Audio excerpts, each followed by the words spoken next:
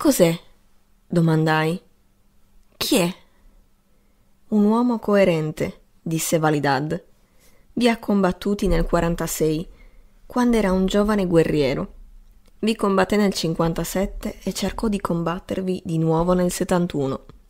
Ma voi avevate imparato troppo bene il trucco di legare gli uomini alle bocche dei cannoni. Ora è vecchio, ma vorrebbe ancora combattere se potesse. Allora è un Wahabi. Perché dovrebbe rispondere ad un Laoni di Maratta se non fosse un Wahabi o un Sikh? dissi. Non so, disse Validad. Ha perduto forse la sua religione, forse desidera essere re, forse è re. Non so il suo nome. Questa è una bugia, Validad. Se conoscete la sua vita dovete sapere il suo nome. È vero, appartengo ad una nazione di bugiardi. Piuttosto preferirei non dirvi il suo nome. Pensateci da voi. La Lun finì la canzone, accennò verso il forte e disse semplicemente Kem Sing. Hmm, disse Validad. Se la perla ha deciso di dirvelo, la perla è una sciocca. Tradussi alla Lun queste parole ed essa scoppiò a ridere. Ho deciso di dire quel che mi piace. Tennero Kem Singh nella Birmania, essa disse. Ve lo tennero per molti anni finché la sua mente cambiò. Tanto grande fu la bontà del governo. E visto questo, lo rimandarono al suo paese, di modo che possa ancora vederlo prima di morire. È un vecchio, ma guardando bene questo suo paese la sua memoria verrà. Per di più ci sono molti che lo ricordano.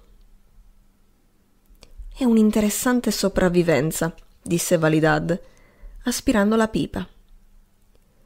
Egli ritorna in un paese ora pieno di riforme educative e politiche, ma come dice la perla, ci sono molti che lo ricordano. Una volta era un grand'uomo. Non ci saranno più grandi uomini in India. Tutti, fin da ragazzi, vanno praticando strani dei e diventeranno tutti cittadini, cari concittadini, illustri concittadini. Come li chiamano i giornali indigeni? Validad sembrava molto di malumore. La Lun guardava fuori dalla finestra e sorrideva nel pulviscolo. Me ne andai pensando a Kem Singh, che una volta con un migliaio di seguaci aveva fatto storia e sarebbe diventato principe senza il potere del predetto governo supremo. Il primo capitano che comandava il forte Amara era in licenza, ma il subalterno che lo sostituiva era venuto al club, dove lo trovai e gli chiesi se fosse proprio vero che un prigioniero politico fosse stato aggiunto alle attrattive del forte. Il subalterno mi fece una lunga spiegazione, perché questa era la prima volta che teneva il comando del forte e quella gloria gli riusciva molto pesante. Sì, disse, da circa una settimana mi è stato mandato un uomo per ferrovia, un vero gentiluomo, chiunque sia, Naturalmente ho fatto tutto quello che potevo per lui. Aveva due servitori e qualche utensile per cucinare, in argento, ed aveva tutta l'aria di un funzionario indigeno. Io l'ho chiamato Subadar Saib.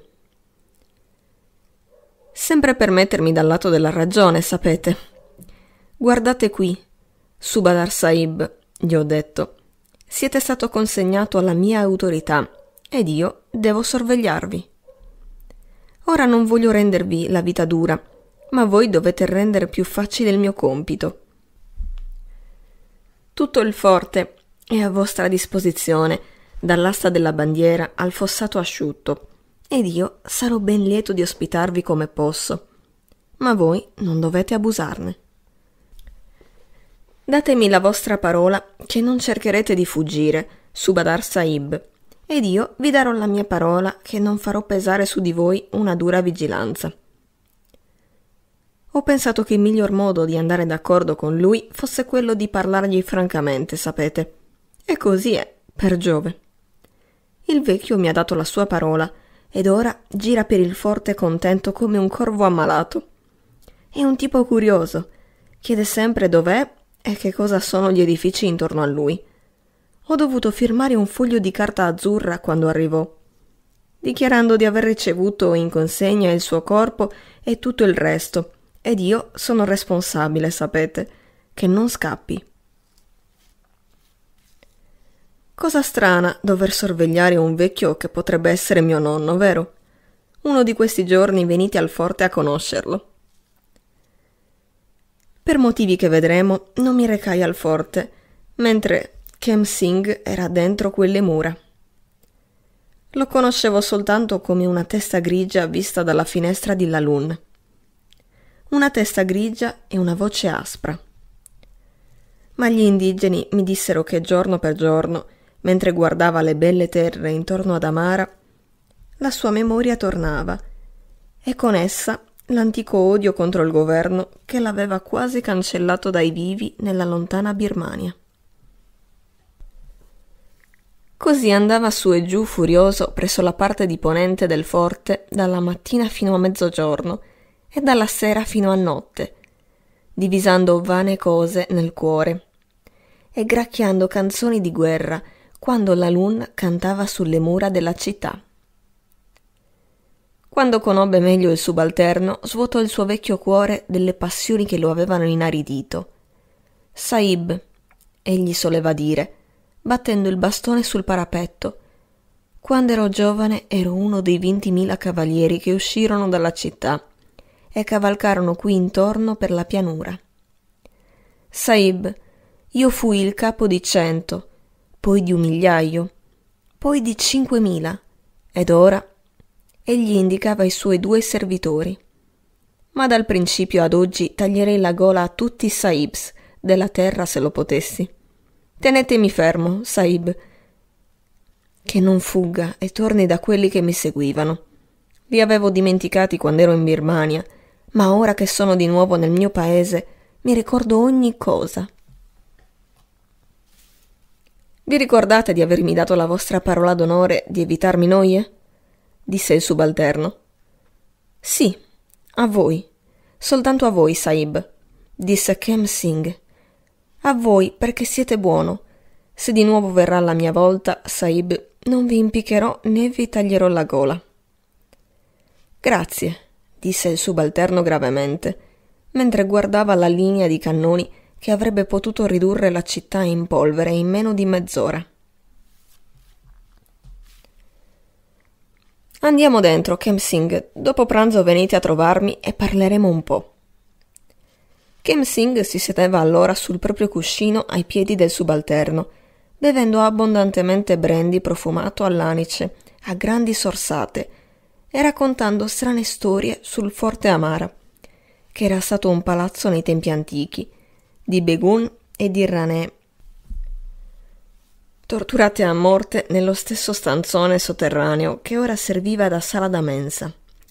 Raccontava storie della battaglia di Sobraon che facevano tingere di rosso le guance del subalterno per orgoglio di razza e della rivolta di Kukas, dalla quale tanto ci si aspettava e che almeno centomila anime sapevano che sarebbe scoppiata ma non faceva mai racconti del 57, perché, come egli diceva, era ospite di un subalterno e il 57 era un anno di cui non ci teneva a parlare, né un negro né un bianco.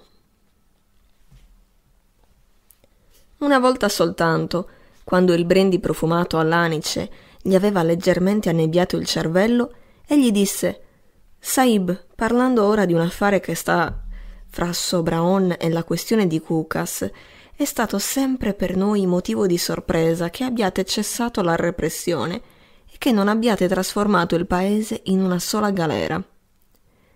Ora sento dal di fuori che fate grandi onori a tutti gli uomini del nostro paese e con le vostre stesse mani distruggete il terrore del vostro nome, che è la vostra roccaforte e la vostra difesa. Questo è sciocco, ma possono fondersi l'olio e l'acqua. Ora, nel 57. Allora non ero ancora nato, Subadar Saib, disse il subalterno, e Kem Singh, vacillando, si ritirò nelle proprie stanze. Il subalterno mi raccontava tutte queste conversazioni al club e il mio desiderio di vedere Kem Singh cresceva. Ma Validad, seduto sotto la finestra nella casa sulle mura della città, disse che sarebbe stata una cosa molto crudele a farsi, e la Lun dichiarò che io preferivo la compagnia di un vecchio Sikh irsuto alla sua. Qui c'è del tabacco, qui c'è della conversazione, qui ci sono molti amici e tutte le notizie della città e soprattutto qui ci sono io. Vi racconterò delle storie e vi canterò delle canzoni e Invalidad dirà le sue sciocchezze in inglese al vostro orecchio. Tutto questo è peggiore di quell'animale in gabbia? Andateci domani allora, se proprio non ne potete fare a meno ma oggi ci saranno qui il tale e il tal'altro e racconteranno delle cose meravigliose. Avvenne che quel domani non giunse mai. E al calore delle ultime piogge seguì il freddo del primo ottobre avanti che mi fossi accorto che l'anno se ne andava. Il capitano comandante del forte tornò dalla licenza e assunse la vigilanza di Kem Singh secondo le leggi dell'anzianità. Il capitano non era un uomo simpatico. Chiamava negri tutti gli indigeni, il che, oltre ad essere un'estrema scortesia, dimostrava anche una forma di crassa ignoranza. Che utilità c'è nell'ordinare a due Tomis di vigilare il vecchio negro? disse. Penso che questo lusinghi un po' la sua vanità, disse il subalterno. Gli uomini hanno l'ordine di tenerglisi lontani dai piedi, ma lui li considera come un tributo alla sua importanza, povero vecchio. Non voglio che degli uomini siano sottratti dalla guardia regolare in questo modo. Metteteci due della fanteria indigena. Six? disse il subalterno, inarcando le sopracciglia. Sikh, Patans, Drogas, sono tutti gli stessi, questa gente negra. Il capitano parlò a Kem Singh in un modo che offese i sentimenti di quel vecchio gentiluomo. Quindici anni prima, quando era stato rinchiuso per la seconda volta, tutti lo riguardavano come una specie di tigre. Gli piaceva di essere considerato a quel modo. Ma dimenticava che il mondo cammina in quindici anni e che molti subalterni vengono promossi capitani. Quel porco di un capitano ha il comando del forte, diceva Kem Singh ogni mattina alla sua guardia indigena. E la guardia indigena diceva sì, Subadar Saib, per deferenza alla sua età e alla sua distinzione, ma non sapevano chi era. In quei giorni le riunioni nella piccola stanza bianca di Lalun erano sempre molto affollate e vi si parlava più di prima. I greci, diceva Validad, che aveva avuto da me in prestito molti libri, i greci, abitanti della città di Atene, dove stavano sempre ascoltando e dicendo qualche cosa nuova, rigorosamente escludevano le loro donne, che erano sciocche. Da qui la gloriosa istituzione delle etere, vero? Che divertivano e non erano sciocche. Tutti i filosofi greci si dilettavano della loro compagnia Ditemi, amico mio, come si sta ora in Grecia e negli altri paesi del continente europeo? Sono sciocche le vostre donne? Validad, io dissi, sapete bene che non si deve parlare delle vostre donne come delle nostre. Questo è un argomento proibito fra noi. Sì, disse Validad. È curioso pensare in ogni modo che il luogo dove noi ci incontriamo debba essere qui, nella casa di una comune. Come la chiamate?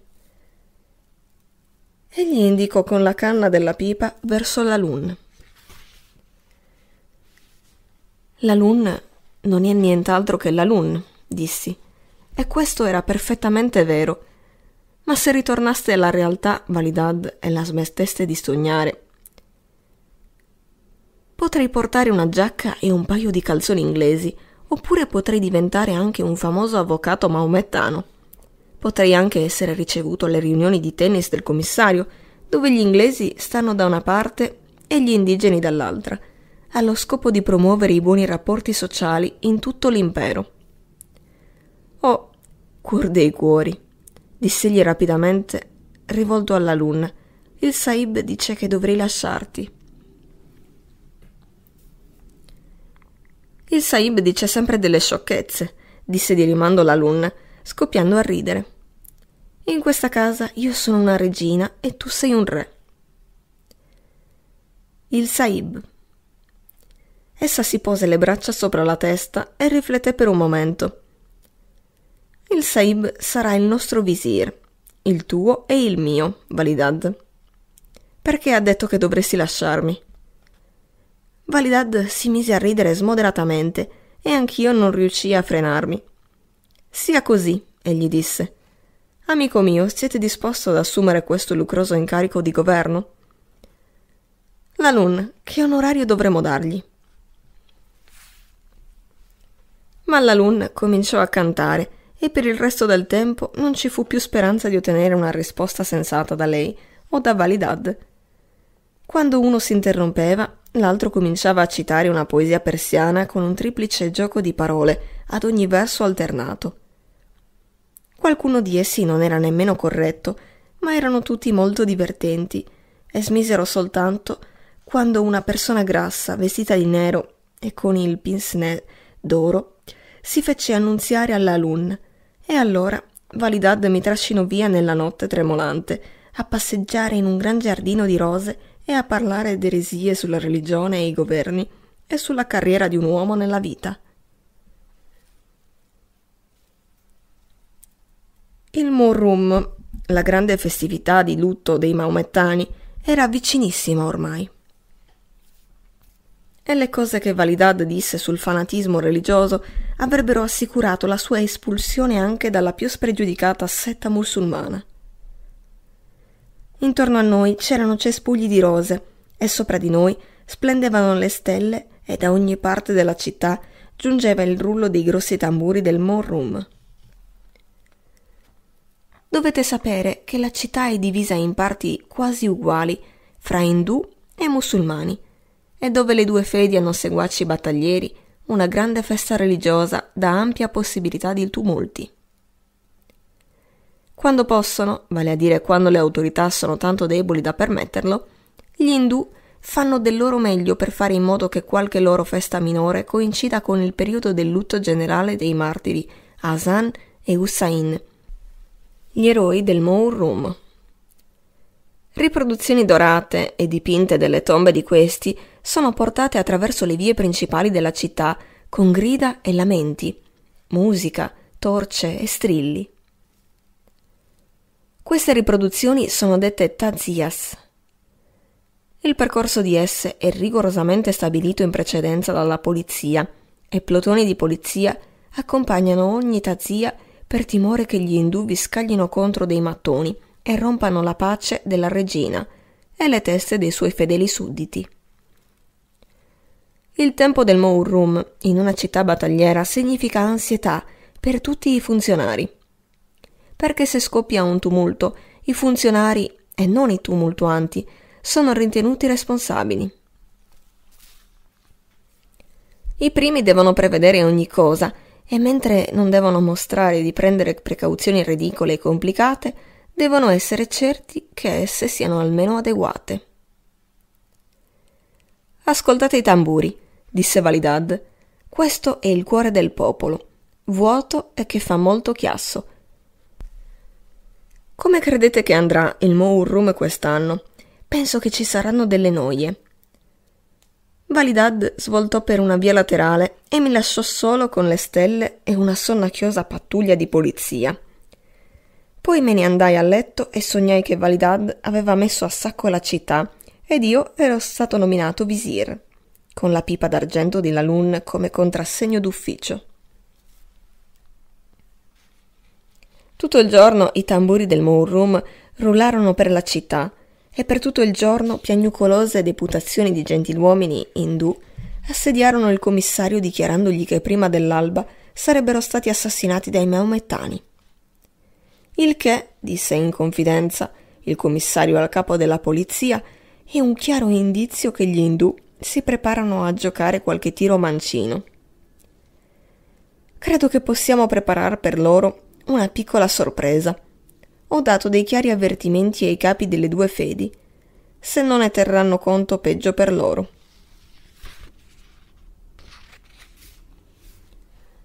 Quella sera, in casa di Lalun, ci fu una riunione molto affollata, ma di uomini che non avevo mai visti prima, se si eccettua quel grasso gentiluomo vestito di nero con il pincenez d'oro. Validad era seduto sul sedile presso la finestra, più amaramente sprezzante della propria religione e delle sue manifestazioni, come non lo avevo mai visto. La cameriera di Lalun era molto indaffarata a tagliare e a mescolare tabacco per gli ospiti. Sentivamo il rullo dei tamburi mentre le processioni che accompagnavano ogni tazzia si avviavano al luogo di adunata generale, nella pianura all'esterno della città, per prepararsi al rientro trionfale e al giro entro le mura. Tutte le strade sembravano messe al fuoco dalle torce e soltanto il forte Amara era nero e silenzioso. Quando smise il rullo dei tamburi, nessuno parlò per un momento nella sala bianca. La prima tazia si è mossa, disse Validad guardando verso la pianura. È molto presto, disse l'uomo con il pincenez. Sono soltanto le otto e mezza. Tutta la compagnia si alzò e uscì. Alcuni di questi uomini vengono dalla DAC, disse la Lune, quando l'ultimo se ne fu andato. Mi hanno portato del tè compresso in mattoni come lo vendono i russi e un colino per il tè da Peshawar. Mostratemi come le mem saibs inglesi preparano il tè. Il tè compresso era detestabile quando lo avemmo finito, Validad suggerì di uscire in strada. Sono quasi certo che stanotte ci saranno dei guai, egli disse. Tutta la città lo pensa. È Vox Populi e Vox Dei, come dicono i babus. Ora vi posso dire che all'angolo della porta di Padshadi troverete il mio cavallo a qualunque ora della notte se volete andare un poco in giro a vedere come si mettono le cose. È una dimostrazione veramente pietosa. Che gusto c'è a dire Ya Hasan, Ya Hussain ventimila volte in una notte? Tutte le processioni, ce n'erano ventidue, erano ora dentro le mura della città. I tamburi battevano di nuovo. La folla urlava. Ya Hasan, Ya Hussain e si batteva il petto le bande suonavano più forte che potevano e ad ogni angolo dove lo spazio lo permetteva, predicatori maomettani raccontavano la deplorabile storia della morte dei martiri. Era impossibile muoversi, eccetto che con la folla, per le strade che non erano più larghe di venti piedi. Nei quartieri indù gli sportelli di tutti i negozi erano sbarrati. mentre la prima tazzia, una pomposa costruzione alta dieci piedi, era portata sulle spalle da una ventina d'uomini robusti nella semioscurità del fossato dei cavalieri. Un pezzo di mattone scagliato contro di essa ne colpì con fracasso i lati di talco e di orpello. Nelle tue mani, o oh signore, mormorò Validad in tono profano, mentre un urlo si alzava dal di dietro e un ufficiale indigeno della polizia spingeva il cavallo attraverso la folla. Seguì un altro pezzo di mattone e la tazzia fu scossa e oscillò dove l'avevano fermata.